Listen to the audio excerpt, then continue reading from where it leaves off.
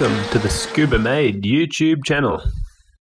Welcome back to another video. Now this time I'm playing with the Silvia again and what I'm trying to address here today is like a little knock, like mm, mm, mm, like sort of knock knock as you're driving and the front coilovers are knocking a bit. So it's actually the pillow balls. I'll try and explain what that is. The top of the coilover here, when they've got adjustable camber things like this, camber plates, I'll just show you what happens if I lift the wheel and just have a look in there. You can see that that moves and imagine that happening a lot. So I'm going to be eliminating that today is the plan. I've ordered these max speeding rods camber plates here. Now I'll try and show you, these are nice and tight as you can see in there, but I've actually gone ahead and put it in over here already. You can see the new bolts. Here is the old one. And I'll just try and show you. It was up like that and you can see if I put my finger in there, that wobbles. So this one was probably a bit worse than that other one even, so. Yeah, and as you can also see on this bit, there's no way to replace just that bit. Like, I don't know, you can't, you gotta replace this whole plate.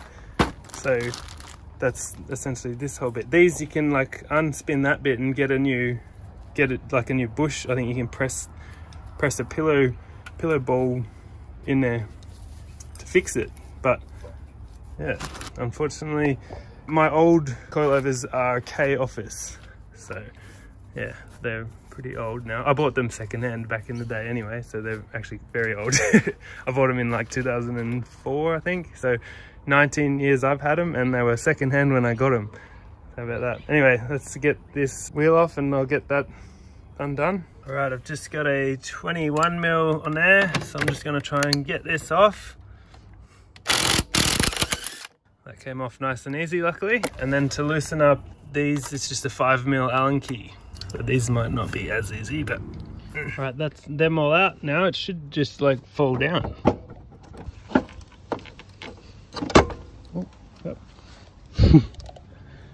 I might have to loosen up the spring actually. So yeah, I've got the spinners here. I'll just get that done. There is K office. Alright, so that's that bit out now. And this one's not as bad. The other one was definitely worse. Yeah, that one wobbles around like crazy, whereas this one is still fairly tight. But never mind. It's going to be both nice and tight. so I'll just take that bit out of there. T30 Torx bit also works on the Allen keys.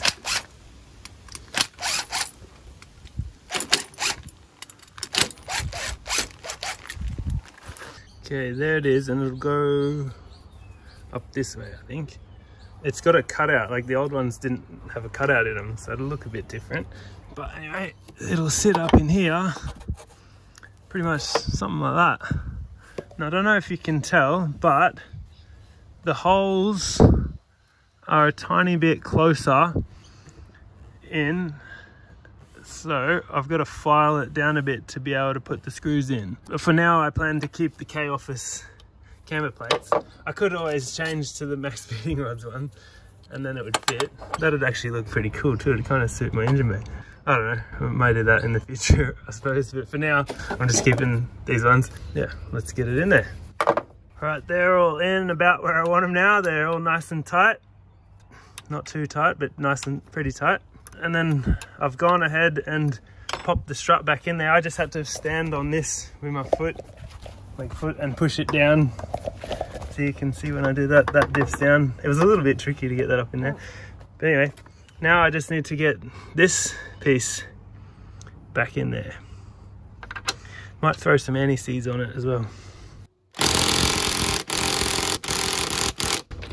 Okay that's that nut back on nice and tight. And that should be what eliminates that knocking sound. That should be pretty much it. Now, before I put the wheel back on, I do have to go and set this spring again. So there's a look what it looks like from underneath. So yeah, I'll just have to wind this spring up a bit.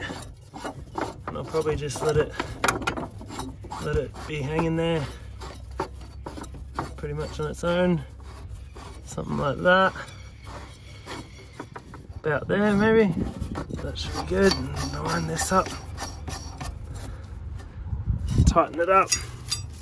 Well, that's all them. That was easy. Didn't need any of these spare collars or any nuts or anything like that. And yeah, got the old ones out and they're no good and I don't think they can be fixed either. So yeah, I'll keep these in case I ever think these ones fail or get too old. Maybe pop them in.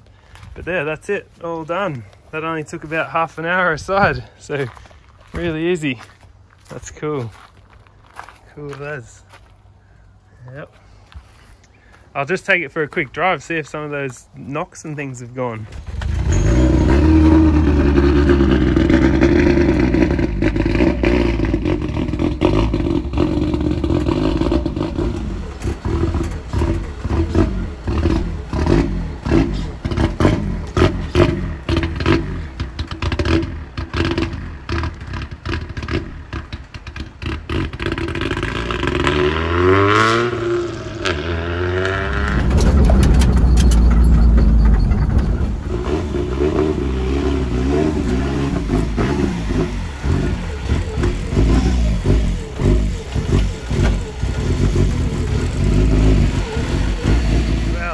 Has gone well. I don't think I heard those knocks, but I mean, obviously it's loud as anything, so I couldn't really tell. I'd have to take it to the racetrack to really see if it's been fixed, but they feel a lot firmer. So yeah, it definitely seems all right.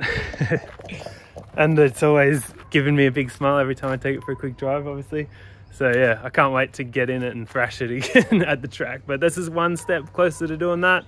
So yeah, that's the camber plate, the pillow balls in the camber plate of the front coilovers, I guess. The yeah camber tops, whatever you call them. So yeah, very easy job. Like less than an hour to do that whole thing, and that basically included filing them down a bit and everything. And I can always change to those new camber tops if I want to. I don't know. I chose not to, just to I, I, like the idea of the K Office coilovers better than Max speeding rods. Like K Office is Keiichi Tsuchiya, the Drift King, so it's his brand, and they're pretty cool to have in the car, I think. And I've had them for 19 years now, which is awesome. So yeah, we'll end the video up there. So if you want, share it around, leave a comment, for us a like, and be sure to subscribe and stay tuned for more. It'll be either the Beamer or the Silvia, who knows? But yeah, wait and see. I'll catch you in the next one. Bye for now.